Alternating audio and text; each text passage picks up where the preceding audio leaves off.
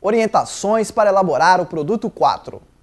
No quarto e último produto, você vai apresentar a história do seu projeto, incluindo sua avaliação e conclusões finais.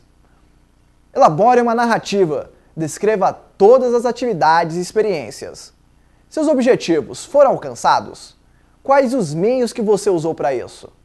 Você vai fazer um relato completo e detalhado de tudo o que você fez.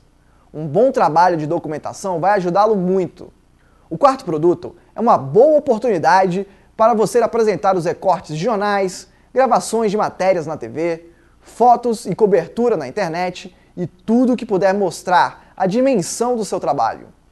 Inclua exemplares dos materiais de divulgação que você produziu, os registros de reuniões operacionais, o relatório dos atendimentos e das capacitações, a lista de presença dos participantes, dentre outros.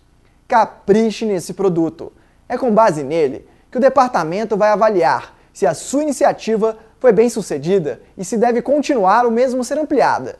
Lembre-se, o produto deve ser enviado em papel timbrado da sua instituição e assinado pelo responsável legal e pelo coordenador do projeto.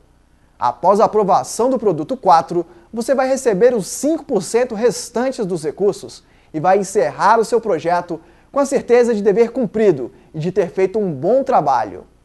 Lembre-se de que o último produto deve ser enviado até 30 dias após o término de vigência do contrato.